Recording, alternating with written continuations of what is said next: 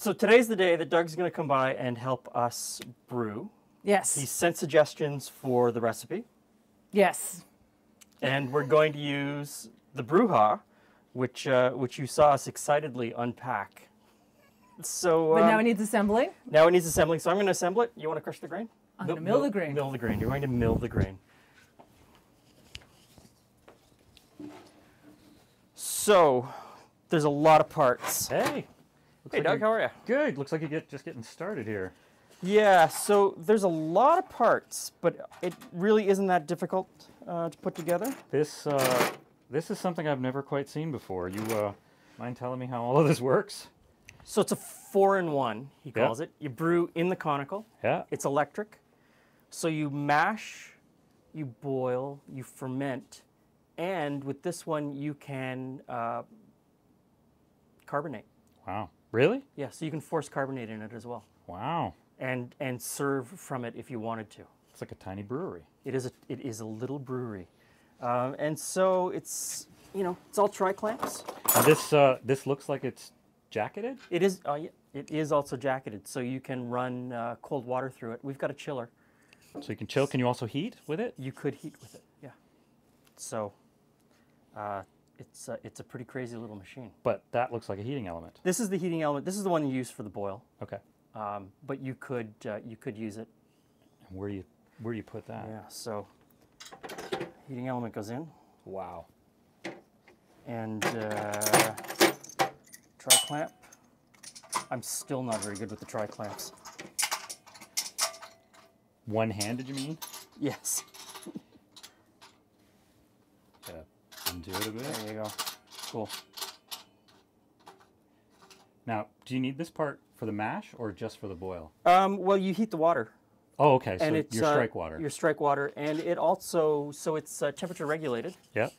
and it will So you'll get to the exact temperature that you're exact looking for. temperature that you need, and then you we're going to attach this pump, and so you recirculate the mash water through at the mash. Wow. So throughout the entire mash process, you're getting an even temperature. You're getting an even temperature, and because you're circulating it, you're also setting the grain bed early, and uh, it should give a cleaner wort. So I presume there's some sort of basket that sits in this. There is a colander. We'll get to Oh. that. Great. So uh, let's put the rest of it together. Okay. So Right. You look like you're ready for water. we are ready for water. All right. Does I not make a mess? Yeah.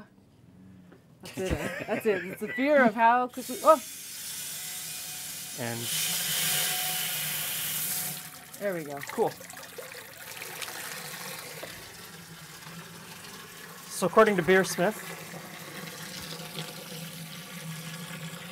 22 and a half liters, and we heat it to 157. How do we know when we have enough water? Ah! Genius. So now we wait. All right. What's our temp? 81? 81.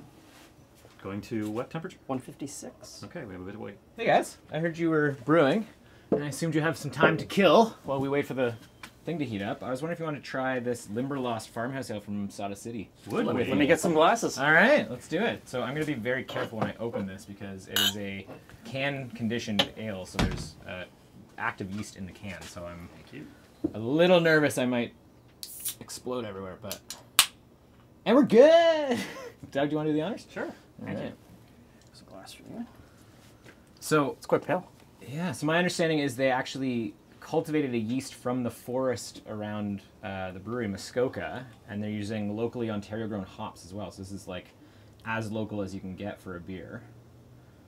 And uh, these are guys, I don't know if you guys know much about Sawdust City. They're up in Gravenhurst, and they do some excellent, excellent beers. We, uh, So you're gonna want a little bit of the bottom. Yeah, get that yeast in there. the, in the 24 Beers project, we did a Sawdust City, their Endless Summer Pale Yep. Ale. That was Was quite it good. the, the pale ale or the blonde ale or Blonde? something? Yeah. Yeah, yeah. It was good. yeah oh, that smells great. Nice and cloudy. Mm-hmm. Why does it smell like cheese? So there is some definite funk in there. Um, there's some Brett yeast in there, Brettanomyces yeast, so the wild funky yeast, and that would give that sort of cheesy. Cheesy. I, might, I call cheesy. it bready. Bready, yeah. Bready. I still Not struggle. bready. Brett. I still struggle to figure out how to describe Brett beers to people a lot of times. I say farmhouse. I've never but- actually referred to it as cheesy, But but, cheesy that's- makes sense, yeah. Yeah. I, especially like blue cheese, like those sort of softer. Yeah, I'm not a not a. It's not Limburger. It's. It's So what, do you, nice. what do you think of that? I like that. It's really dry. Uh, Yeah, I was gonna say it's drier and crisper than I anticipated. It's got those like fruity esters that you get in like a like a Belgian double or triple, but it doesn't have that sweetness on the back end, which I Oh. actually quite enjoy because I, I, my one issue with Belgian doubles is that they're a little too sweet, Mhm. and I like that this has that aroma but without that sort of candied flavor at the end. It has a nice full body to start and then just disappears. So you think we could brew one of these in this? Dries up my mouth. I don't see why not. All right. You have But to find have- the wild leaf, wild we, yeast. we, we gotta go. Got to go to the find- Limberlost Forest and get some yeast. Ah, all right. Is this uh, is this Escarpment Labs? Yeah. Yeah. Okay. So they they seem to be the, the big guys in Ontario these days with the with the yeasts, especially with the with the wild sort of bacterias.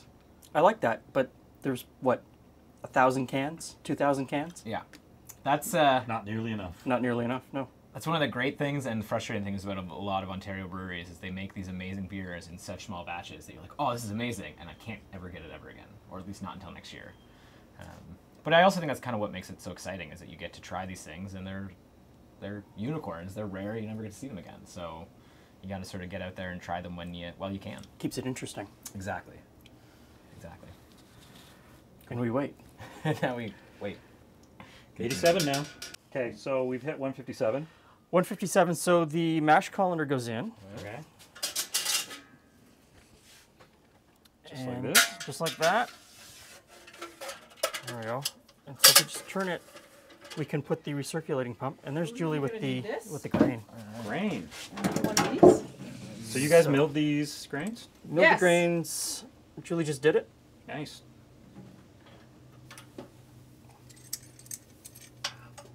Looks good. Oh, it smells good. Does, doesn't it? I always love just like eating a little bit of fresh So good. fresh malted barley. Okay. Cool. All right. Do you want to stir or pour? I'm gonna stir. All right. Oh! Change the spots. Okay.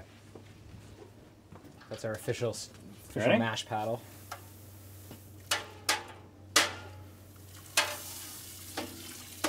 I love that smell.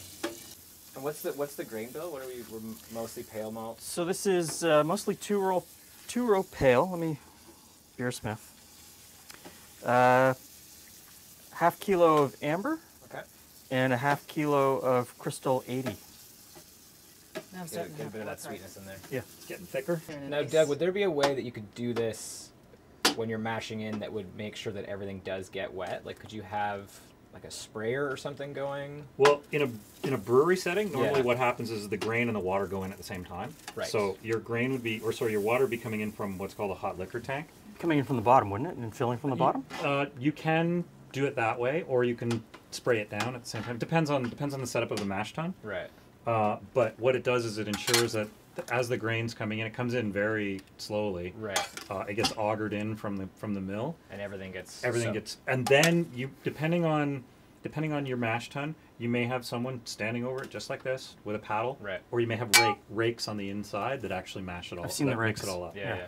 But because it's not going to be perfect. Oops. No, that's it. Thought there was less there. How's our temp there, Doug? 156. 56. It should drop. Let's, uh, well, let's turn on the pump and see what happens. That might help. Okay, so the bottom valve opens, I need to plug it in over here. and that'll, that'll prime it. I assume that's Plug it in. stirred enough. Oh, there you go. Nice. And- That is awesome. Yeah, so uh -huh. we can just control it with this valve here to uh, keep it from being too much. Mm-hmm.